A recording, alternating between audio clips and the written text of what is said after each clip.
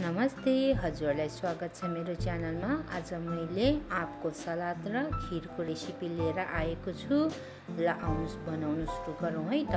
सर्वप्रथम हामीलाई चाहिन्छ धोएर राखेको चामल दुध स्वादअनुसारको चिनी काजु र ठुलो खालके बादाम ल्वाङ र सुकमिलको धुलो र घिउ। अब एउटा भाँडा तताएर हामी त्यसमा घिउ राख्छौँ।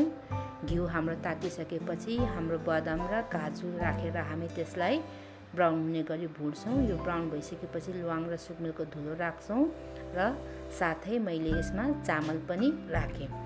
अब यी दुई थोकलाई राखिसकेपछि यसलाई मैले राम्ररी चलाएँ। यसरी चलाइसकेपछि अब मैले यसमा चिनी राखेँ। चिनी हामीले सुरुमा राख्नु हुँदैन। सुरुमा चिनी राख्दा डढ्ने हुँदा यसलाई हामीले पछिबाट मात्रै राख्नुपर्छ। र यी सबै थोकलाई राखिसकेपछि यसरी मैले यसलाई राम्ररी चलाएँ मुनि टाँसिने हुँदा यसलाई मजाले मुनिबाट निकाल्दै चलाउनु पर्छ अब यसरी चलाइसकेपछि मैले यसमा दुध राखेँ। दुध मैले दुई कप राखेको छु।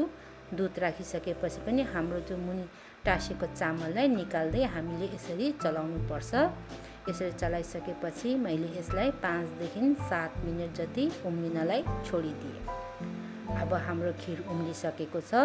यसलाई मैले पुनः चलाएँ। चलाउँदाखेरि मुनि हाम्रो चामल टाँसेको छ छैन। त्यसलाई विशेष ध्यान दिँदै चलाउनु पर्छ र फेरि मैले यसलाई पाँचदेखि छ मिनट छोडिदिएँ। पाँचदेखि छ मिनटपछि यसलाई मैले पुनः चेक गरेँ। चेक गर्दाखेरि हाम्रो खिर डढ्ने हुँदा एकदमै ध्यान दिँदै यसलाई चलाउनु पर्छ र अब मैले केही समयको लागि यसलाई मैले छोडिदिएँ। केही समयपछि मैले चेक गर्दाखेरि अब हाम्रो खिर अलिक बाकुलो भइसकेको छ।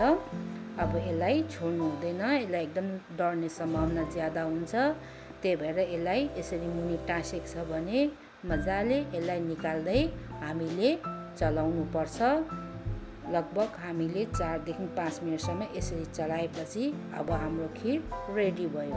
ल हेर्नुहोस् त हाम्रो खिर कस्तो भयो र अब हजुरहरूलाई म आँपको सलाद बनाएर देखाउँछु। त्यसको लागि चाहिन्छ हामीलाई एउटा कट्नेरो आँप बदाम भुटेर पिसेको त्यसै गरी सिधे नुन जुन हामी व्रतको बेला खाइन्छ स्वादअनुसारको खोर्सानी चाट मसला। अब यी सबै चिजहरूलाई हामी एउटा भाँडामा राख्छौँ।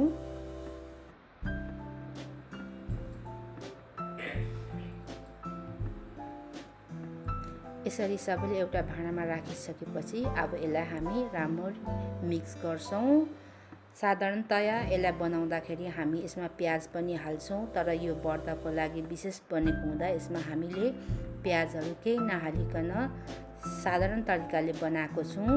यसरी हामीले हाम्रो मसला र नुन चारैतिर लाग्ने गरी मिक्स गरिसकेपछि हाम्रो आँपको सलाद रेडी भयो। र हेर्नुहोस् त हजुरहरूलाई कस्तो लाग्यो? हजुरहरू पनि सोमबार बनाएर खानुहोला।